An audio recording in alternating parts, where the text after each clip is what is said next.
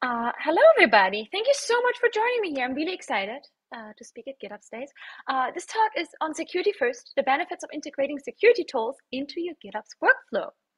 Now, before I get started with uh, my presentations on security tools, and I hope I can, yeah, here's the next slide. Um, I like to ask people what comes to your mind when you're thinking about security. Maybe those are specific tools that pop into your mind of like, oh, I'm using this tool, or I've heard people talk about that tool or specific processes, uh, maybe any buzzwords, anything that comes to your mind. It's maybe a rhetoric question. If you want, you can post in the chat. Um, I probably won't see it until afterwards. But ultimately, uh, when I ask people this question, they have different types of correct of reactions, and usually those reactions are not um, too much on the positive side of experiences. So a lot of people would tell me that security, security in the cloud native space adds to a lot of confusion. It's irritating. It's they don't know where to start. It's difficult. Um, maybe it's focused on specific teams, specific people empowered to to use security focused tools and similar. So um, there's really like usually it's it's not like a yay security kind of answer that you would get. And this is exactly why I like talking about integrating security into your existing workflows, such as if you're using GitOps tools such as Flux CD, you could focus on integrating security tools alongside your existing tools with minimal effort. So this presentation is really like on the why, when, what, who, and how of security, very briefly. Um, then how security relates into your to your GitOps workflow. Um, what are the similarities between your GitOps workflow and your security workflow, and the goals of both of them and the overlap between those goals. And then I'm going to show you how you can integrate your security tools into your existing workflow with a hands-on demo as well. Now, why am I talking to you about this? Uh, if you don't know me, uh, I've been working in this space since like 2020. Uh, before that, I was working in different roles in the blockchain space, in the open source blockchain space. Then I joined the cloud native space as developer advocate. Last year, I worked as site reliability engineer. And now this year, I got back into open source developer advocacy at Aqua Security. Now, I also just reached 10,000 subscribers on YouTube, which is really exciting. So if you're one of them, big shout out to you.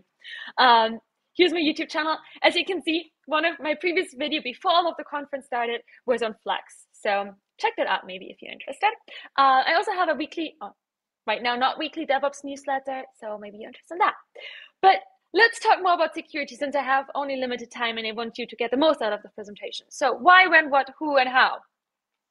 Ultimately, it depends like so many other uh, things on on your team, on the different tools that you're using. Uh, and a bunch of different factors. So, for instance, um, depending on the size of your team, depending on the nature of your project, you will want to use different security tools. Depending on what tools you're already using, you want to use different security tools. Um, depending on your company's goals and objectives, you will want to use different tools um, for security. So, there are really multiple areas that you want to keep in mind before you start integrating security tools. Ultimately, uh, the cloud native space is a very complex area. If you're already familiar with different cloud native tools, um, you might know that there's lots and lots going on. It's a really fast moving space. And whenever you're adding a new tool to your existing stack, it will be another tool that you will have to maintain. So we'll have to keep that in mind before you add new tools. Like, yes, you should focus on security for your stack. You should be um, establishing a security first uh, culture, but not on the expense of, of people having to do more than they can actually handle. So, which tools should you use? Again, the type of tools that you will choose will depend on those factors.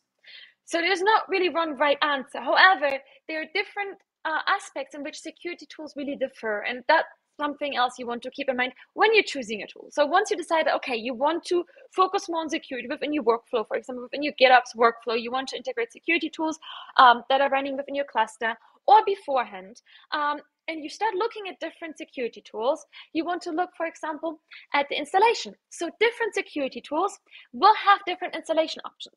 Some of the tools are CLI first, meaning they are like, while they maybe have ways to install the tool within your cluster, the tool itself and the maintainers will focus on enhancing the CLI experience. So um, anything that goes on for security scanning before you do actually the deployment in the cluster. So before anything touches maybe even your CI/CD pipelines.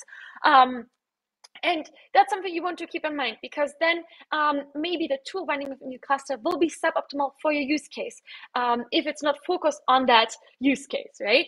Uh, the other part is the Kubernetes resource type that those uh, tools use, right? Some tools uh, will use operators, some tools will use uh, just jobs running within your cluster or other Kubernetes resources. So you want to keep in mind what type of resources is the tool actually using? Is it beneficial to us? Is it achieving our goals? Also, you want to make sure that if you're using cloud native tools, if you're running all your workloads on Kubernetes cluster, then you want to make sure that the security tools you're using can integrate with your existing stack inside of your cluster, inside of your cloud native um, application stack. The next thing is, and that's something just to keep in mind, is scan coverage. When you're comparing different tools, they pull from different data sources the information. So, for example, when they check for vulnerabilities, so you want to make sure that you know where the information coming from and kind of what is the experience that other people have with those tools and um, the scan coverage that they provide. Then the next thing is the integrations. So we're talking here solely about open source tools. Like I am the open source developer advocate at Aqua. I'm not talking about any enterprise tools. I'm talking about the open source tools similar to Flux CD. We're talking about open source here. And the more mature a open source tool gets, uh, the more integration it will have within the ecosystem, right? So either those integrations are built by the community um, or they are built by directly by the maintainers. Now, the last thing is, which kind of relates also to the installation, is the focus. Like, which uh, user group does the tool focus on?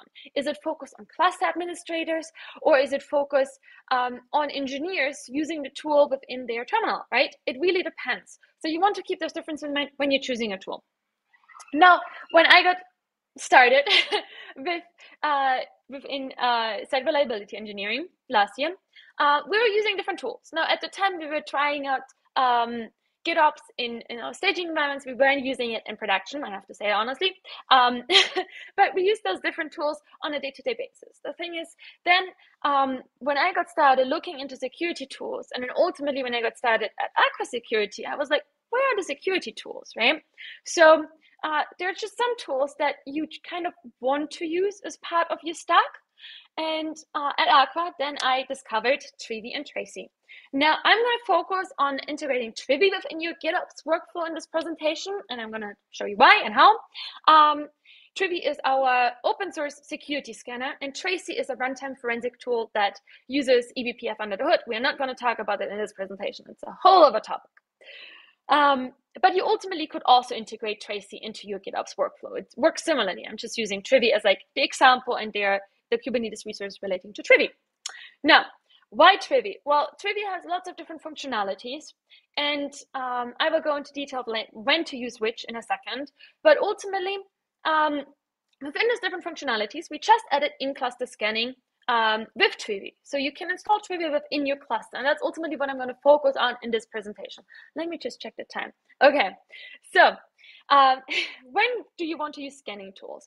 Well, before you before your deployment um, stage of your development lifecycle, for instance, of your different processes, before you want to deploy your workloads, uh, you can do a lot of different scanning within your within your for your resources. You can do file system scanning, you can scan Git repositories, container images, the base images that you're using to build your Docker file, then you can scan your infrastructure as code, and so on and so on. And that can all happen, um, everything you see here, can, I hope you see my mouse, uh, can happen within the CI/CD pipeline. So before you trigger any deployments for your GitOps workflow, um, they can all happen beforehand. And you could stop the pipeline, you can stop deployments if you, for example, discover critical vulnerabilities or misconfigurations that you should pay attention to within your workflow beforehand. And that workflow might encompass um, on local development machines, somebody scanning a third party library packages for vulnerabilities and it's like, oh, maybe we shouldn't use that. We have to like go back and like see what else is out there, or it could happen later on in the development um, lifecycle in your pipeline. Now, the thing is, once you go to the deployment stage, you want to make sure that you can actually deploy a security tool also within your cluster. Um, that is running within your cluster. Uh, and the thing here is that ultimately, once you go past it, like to the deployment stage, you want to automate everything as much as possible. And that's also one of the goals that I'm going to talk about more in a second. That also GitOps is addressing, right? You want to empower engineers, um, and you want to uh, not give them additional, like more work to do manually, right? You want to automate things. And that's only happening if you can actually integrate security tools within your cluster and automate um, the information that they filter for and that they give you. So why Trivy or like how does Trivy really work in your cluster if you're new to Kubernetes. This might be one of your clusters. Just imagine it as like different sections within the cluster, different environments, and they're your different tools. And the Trivy operator is basically a Kubernetes resource that runs within your cluster and that will scan uh, for, for example, vulnerabilities of your workloads. It can do lots of different scans within your cluster automatically, like on a three hour or six hour time um, time in between, it will scan all of your resources. Um, now, how does it relate now to our GitOps workflow? So I kind of talked about some of the goals that we have uh, with our security tools, but also with our GitOps tools. So let's dive into that in a bit more detail. First of all, we want to empower engineers. And a lot of times when we talk about shifting left and empowering engineers with tools such as uh, Flux or, or security tools, um, we might miss the point by like giving engineers more work to do. Like that's not the goal right? We want to keep in mind that we don't want to give engineers just something else to do in their day-to-day job right? Yes we want to bring security and um, continuous deployment closer to engineers but not on the expense of them having to actually um, invest more and more time into uh, tools and processes that they it's just in addition to their day job. Um, the other thing is that we want to provide visibility, and that's really a goal with GitOps, that we want to know when was deployed what, where was it deployed, by whom was it deployed, and how was it deployed, right? And this is really correlating to security ultimately, because when we find new vulnerabilities in our cluster, or when we discover new vulnerable deployments within our cluster, we want to know those things as well, right? Like, yes, um, my auditing tool can tell me, hey, Trivy detected X new critical vulnerabilities of this new deployment. But then I want to know, okay, there are new vulnerabilities of this deployment. Was there any update that happened uh, since like X time, right? Or uh, who made those updates, right? All of this information can then help me um, debug of like, okay, how did the security issues actually enter into my environment, into my infrastructure? And how can we address kind of the workflow from there um, and prevent it from happening in the future or make our workflow more secure or um, mitigate the, the vulnerability as, as fast as possible. And the other thing is, which I also touch upon, that ultimately with GitOps tools, as well as with security tools, you want to make sure that you have Kubernetes resources because that allows easy integration between the different tools. And that's something that I'm also going to show you in my demo in a second, that if everything is Kubernetes based, it's really easy to combine different tools with each other, with each other instead of having to use a complete separate platform because you have to think about it. If you're using a separate platform that doesn't integrate, then you will have to look at the platform. You have to configure and maintain the platform separately. Versus if everything is running um, through one common tool such as FluxCD, then you can ultimately um, monitor everything through the same tool. Um, the other thing is we want to have automated scanning, such as we want to also have automated deployment based on predefined rules.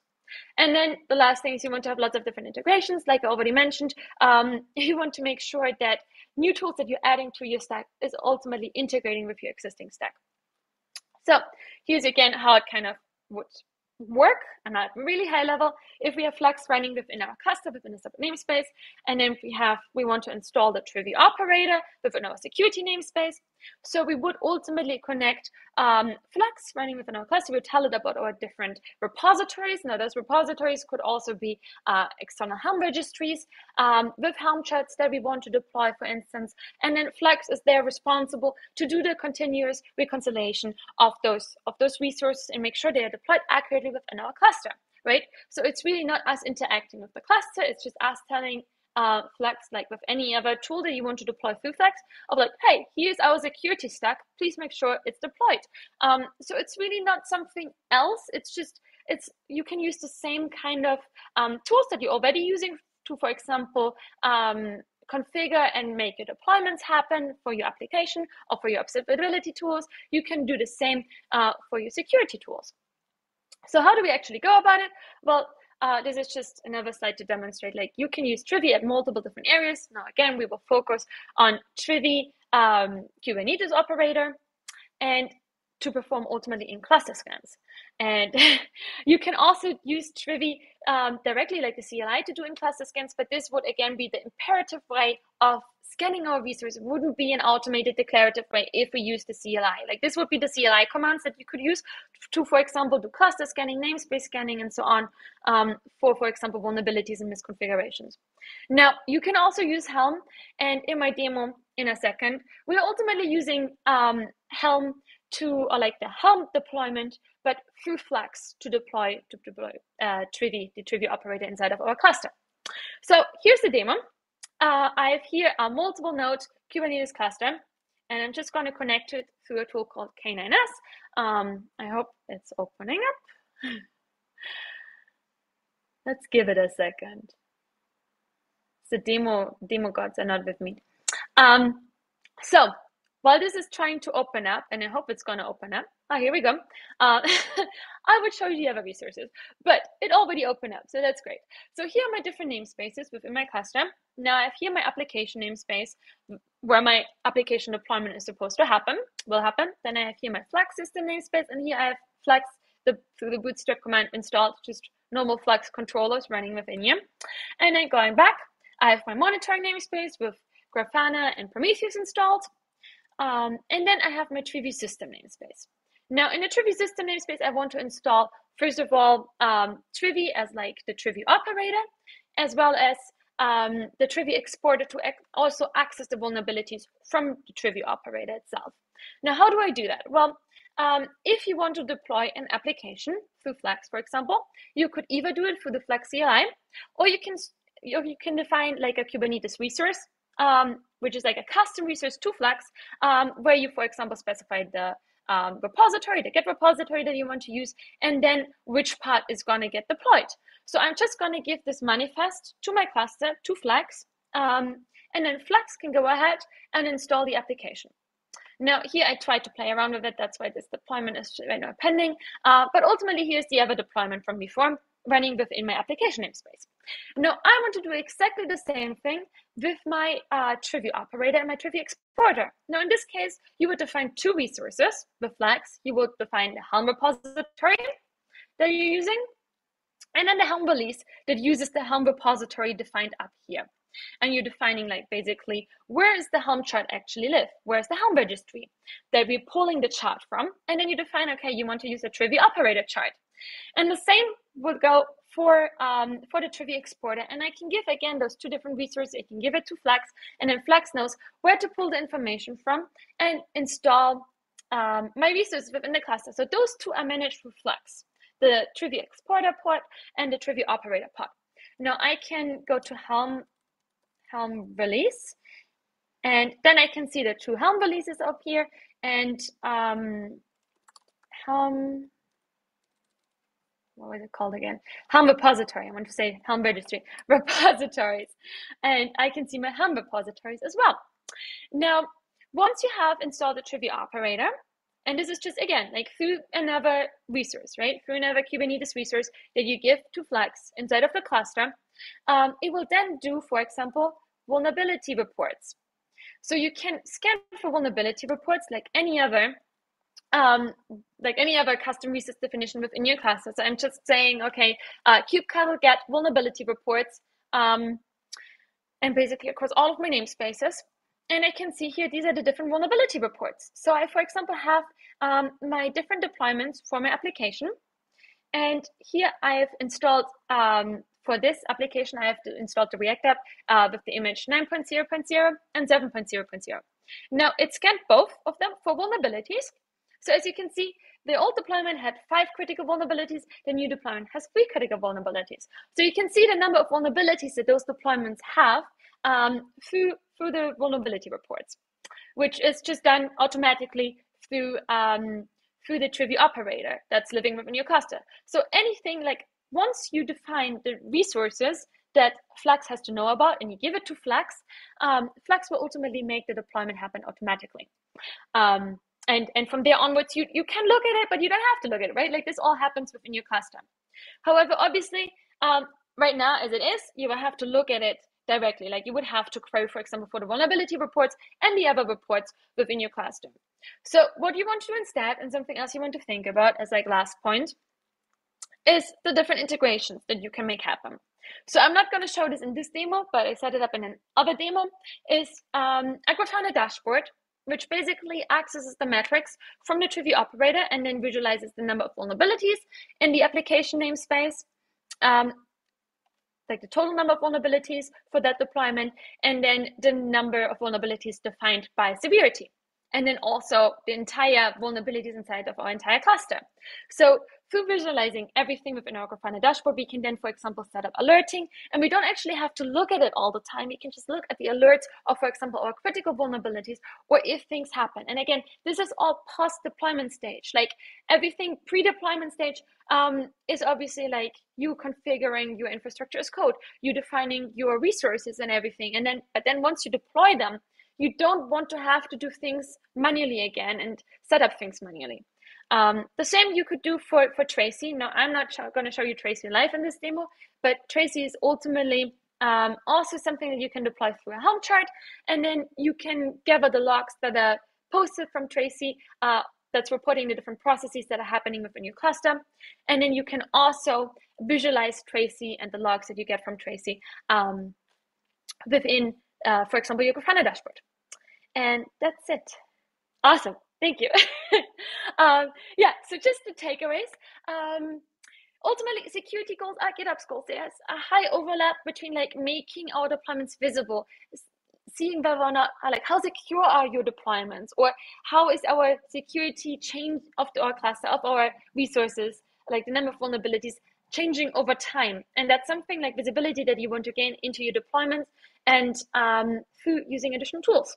Now, getting started with security tools has long-term benefits. You don't have to be an expert from day one if I can get started with security tools. So can you? Um, let me know if I can help or we can help with anything um, at the Aqua open source team. Now, Trivy is a really comprehensive and versatile security scanner. Now, there are other scanners out there, so I suggest you take a look, see what works for you. Um, yeah, I think questions you can just reach out to me on Twitter. um, Awesome. Thank you so much. And thanks for being on time. Um, so yes, and speaking of questions, we already have some in the Slack channel. So um, okay. I will remind everybody um, yes, if you're watching on YouTube, which you would be, um, please make sure you join our Slack channel because we and our speakers will continue to monitor your questions um, throughout the day and throughout the week. Um, and yes, there's a pretty interesting question there. So Anais, uh, if you have a second, you can uh, go and answer that and we really appreciate okay. it. Thank you so much for joining us. Thank you. And it's so great to see you again. Thank you. You too. Bye-bye. Yeah.